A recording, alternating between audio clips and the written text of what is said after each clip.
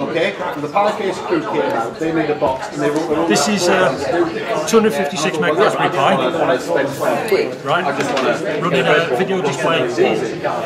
You can do web pages, bitmaps, or videos. So kind of uh, gave you Once it's actually set up, you can just run standalone. You don't need any network, any computer. It can just be thrown on the back of the TV, literally connected. all sorts of combinations. We did have a slight problem before when we lost power, so I think the card's slightly corrupted, so I'm having problems connecting to it. Unfortunately, typical.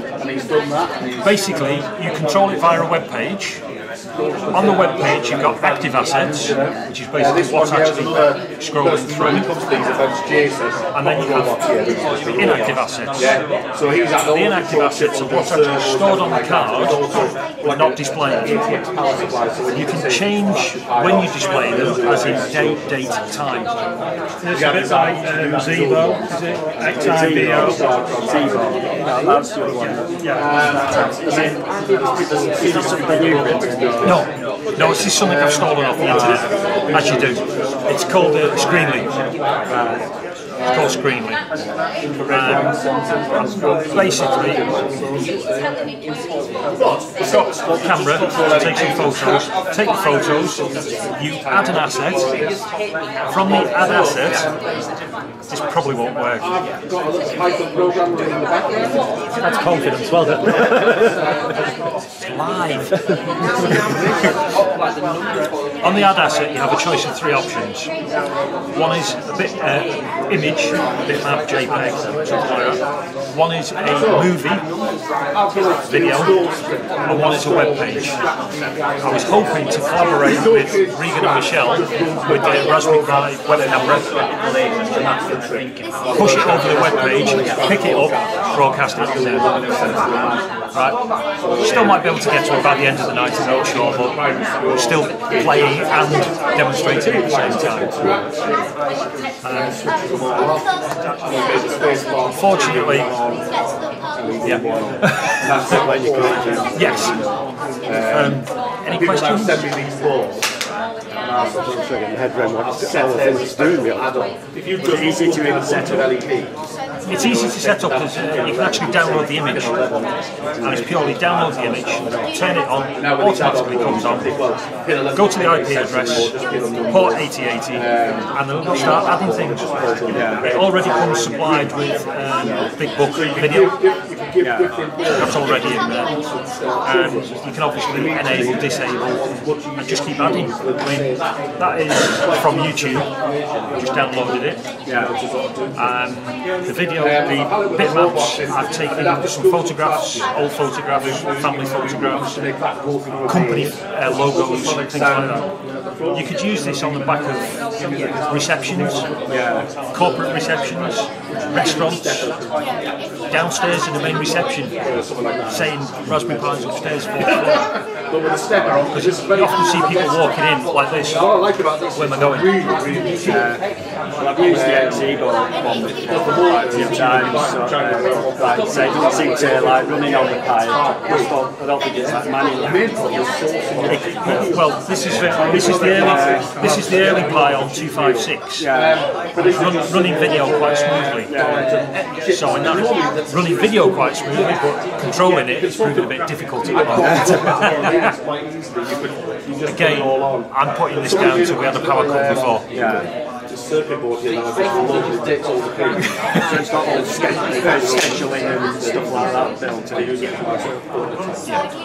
you can which order they come out. Yes, you can, you can change the order.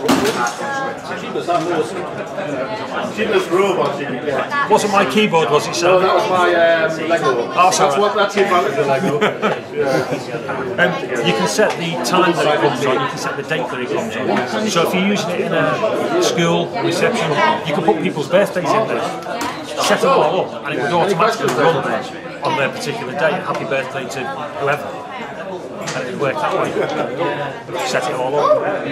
Oh, all right, yes, yes. I'm going to try again. Sorry, the, the, I normally VNC into the robot. Obviously, you can't be playing against the bonnet. It's an ideal piece of kit, really, because you can decide it at the back of the screen. Yes, I mean, um, I set my phone Just an ordinary TV instead of spinning you got a, you got a TV that's got USB on the back. Yeah. You can power the Pi from it as well. A lot of the time you end up having to hold a computer or something that's tucked away. Well, if if this is powered on the back of the TV and you connect it to the network, you can control it from offices miles away. Even, even over the internet, if you do a little bit of portfolio. Won't you get problems powering it from the TV when people turn the TV off? It will turn off. When you turn it on, it automatically runs. And it gets corrupted. Yeah. Uh, that's always the danger, Yeah. and it gets its uh, bits bumped. Yeah. I suppose the um, advantage to that is you could have a car preloaded, pull it out, pull it in, back it up. Um, Chris, last time he was doing a distribution. Oh yeah, yeah, he did a yeah an imaging thing. Yeah. But you, you had to have a working image Yes. Already. So if it gets corrupted when the TV goes off. you know, And it need like a mini, you know, uninterruptible Mini power supply. Yeah, Yeah. IPS. yeah. Well, Actually, no. no, it doesn't have to last for long. It just has to last long enough to tell the Pi it's been shut down. The TV's off. Turn itself off. Battery power. Just want to go one way, you just need one pin. So like Short this thing signals here will was build to drive in. Yeah. short signal Diesel. because I was worried about that. If you build a little device, you know, people prone just to pulling the power out of it, aren't you? And then you plug it back in, it's not going to go. I mean, I suppose the advantage with the TV is So on a, pi- on a Raspberry Pi, when you power it down, do you actually power it down? Do you put it into standby? Five. You could say pin seven. Well, for corporate events, for like receptions and stuff like that, you probably don't turn it off at all. Just leave it on. Probably never Yeah. turn them off. Switch that pin So it just goes I, 24 I 7. use some in schools, and they've got PCs built in the back, and they do they do just turn them off anyway. The cleaners are the ones. Oh right. Because ah, they need the Hoover. It's the- yeah. We get that good service. yeah. Yeah. Yeah, but, I mean, usually for advertising, depending on location,